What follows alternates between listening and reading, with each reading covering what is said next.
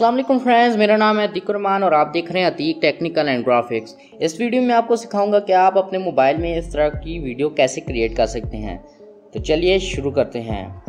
तो सबसे पहले आपको अपने मोबाइल में दो ऐप्स की ज़रूरत होगी। नंबर वन, पिक्सल लैब और नंबर टू इन तो सबसे पहले मैं पिक्सल ऐप को ओपन कर लेता हूँ। पिक्सल लैब को ओपन करने के बाद अब आपने यहाँ पर एक बैकग्राउंड को इंपोर्ट करना है तो यहाँ पर इस आइकन पर क्लिक करना है और इसके बाद अब आपने फ्रॉम गैलरी पर क्लिक करना है। और यहाँ से अपने बैकग्राउंड को चूज़ कर लेना है। बैकग्राउंड को इंपोर्ट करने के बाद अब आपने एक पीएनजी को इंपोर्ट करना है तो आपने इस वाले आइकन पर क्लिक करना है और आपने इंपोर्ट वाले आइकन पर क्लिक करके अपनी पीएनजी फ़ाइल इंपोर्ट कर लेनी है। पीएनजी फ़ाइल आपको डिस्क्रिप्शन में मिल जाएगी, आप वहाँ से इसको डाउनलोड कर सकते हैं। और उसके बाद अब आप चाहते हैं कि इसकी ब्लैक स्क्रीन ख़त्म हो जाए तो आपने यहाँ पर इरेज कलर पर आना है और यहाँ से इसे इनेबल कर लेना है। और अपने कलर को सिलेक्ट करना है, जिसको हम अब हटाना चाहते हैं। और उसके बाद अब आपने चेक वाले आइकन पर क्लिक कर देना है। हमारा बैकग्राउंड रिमूव हो चुका है। अब यहाँ मैं अपने सोशल मीडिया के आइकन देना चाहता हूँ तो मैं इसको इंपोर्ट कर लेता हूँ और यहाँ से इसको एडजस्टमेंट करनी है। अब मैं इनका कलर चेंज करना चाहता हूँ और यहाँ से मैं इसका कलर चेंज कर सकता हूँ।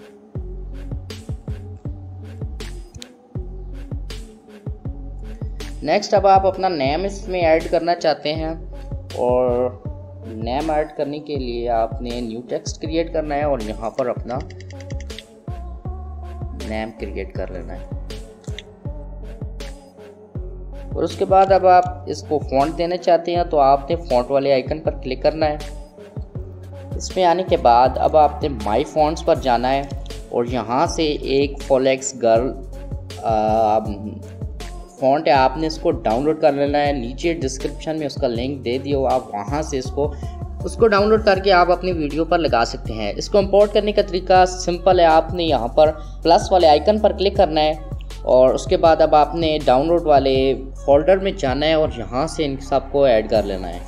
और सिंपल आपने ऐड सेलेक्टेड पर क्लिक करना है और आपकी फॉन्ट जो है ऐड हो जाएँगी। अब आप इसको एडजस्टमेंट देनी है और ये ठीक है। अब आप इसको सेव करना चाहते हैं तो सिंपल है, आपने यहाँ पर सेव इमेज पर जाना है और इधर से अल्ट्रा पर क्लिक करना है और सेव एस टू गैलरी अब हमारी जो फ़ोटो है वो क्रिएट हो चुकी है तो अब आपने इनशूट में जाना है। इनशूट को ओपन करने के बाद अब आपने इधर से वीडियो वाले आइकन पर क्लिक करना है और न्यू क्रिएट कर लेनी है।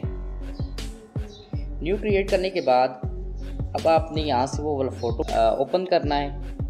उस फ़ोटो को ओपन करने के लिए आपने फ़ोटो पर क्लिक करना है और यहाँ से इसको इंपोर्ट कर लेना है। इंपोर्ट करने के बाद अब आपने यहाँ से इसको कैनवास देना है। कैनवास देने के लिए आपने कैनवास वाले आइकन पर क्लिक करना है और यहाँ से इसको एडजस्टमेंट दे देनी है और चेक वाले आइकन पर क्लिक कर देना है। नेक्स्ट अब आपने इसकी टाइम लाइन को बड़ा कर लेना है। और उसके बाद अब आप इसका बैकग्राउंड देना चाहते हैं। इसका बैकग्राउंड कुछ और हो तो आप यहाँ से इसके बैकग्राउंड को क्रिएट कर सकते हैं और यहाँ से अपनी इमेज को भी लगा सकते हैं। तो हमारा, मैं चाहता हूँ कि हमारे बैकग्राउंड ब्लर हो तो मैं यहाँ से नॉर्मल ब्लर पर क्लिक करता हूँ और यहाँ से इसके चेक वाले आइकन पर क्लिक करता हूँ। नेक्स्ट अब आपने इसमें म्यूज़िक ऐड करना है। तो म्यूज़िक वाले आइकन पर जाना है और ट्रैक्स पर क्लिक करना है और यहाँ से माई म्यूज़िक पर जाना है। और यहाँ से अपने म्यूज़िक को इंपोर्ट कर लेना है। मैं इस वाले म्यूज़िक को इंपोर्ट करना चाहता हूँ तो मैंने इस म्यूज़िक को इंपोर्ट कर लिया और उसके बाद अब आपने चेक वाले आइकन पर क्लिक करना है और यहाँ से आपने लिरिक्स लिखनी है तो आपने टेक्स्ट वाले आइकन पर क्लिक करना है और यहाँ से अपने म्यूज़िक के मुताबिक अपनी लिरिक्स लिख लेनी है।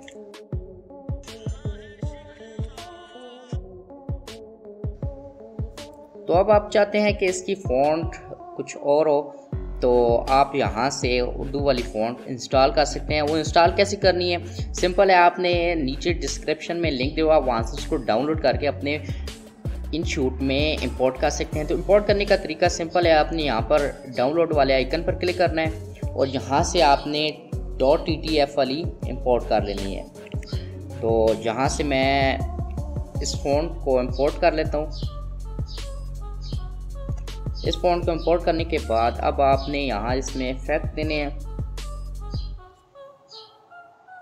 मैं इस इफ़ेक्ट को देना चाहता हूँ और नेक्स्ट अब आप इसके बैकग्राउंड में आउटलाइन देना चाहते हो तो आउटलाइन देने के लिए आप यहाँ से कुछ भी लगा सकते हैं।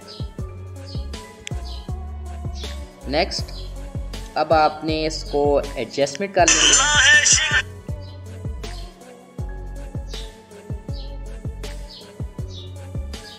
और उसके बाद अब आप एक और लेरिक लेना चाहते हैं तो इसी को कॉपी करके आप इस पर इसको आगे लगा सकते हैं।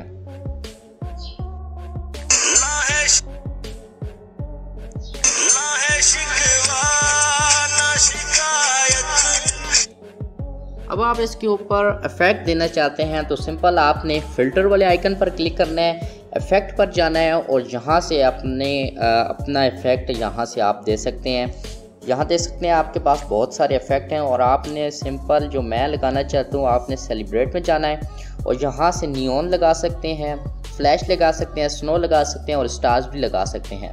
तो मैं नियॉन लगाना चाहता हूँ और आपने उसके बाद अब आपने इसकी वैल्यू को कम कर लेना है। नेक्स्ट अब आपने नियॉन लाइट्स को अपनी टाइम लाइट में बड़ा कर लेना है। बड़ा करने के बाद अब आप इसको वीडियो को देख सकते हैं।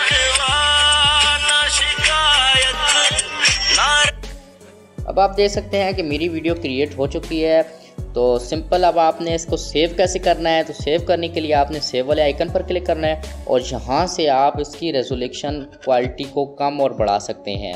तो मैं यहाँ से 1080 की रेजोल्यूशन रखना चाहता हूँ। तो यहाँ पर 1080p पर क्लिक करता हूँ और उसके बाद अब हमारी जो वीडियो, वो सेव होना शुरू हो चुकी है। अगर आपको ये वीडियो पसंद आई है तो उस वीडियो को लाइक शेयर कमेंट और सब्सक्राइब कर दीजिएगा। तो मिलते हैं अगली वीडियो में। तब तक के लिए अल्लाह हाफिज़।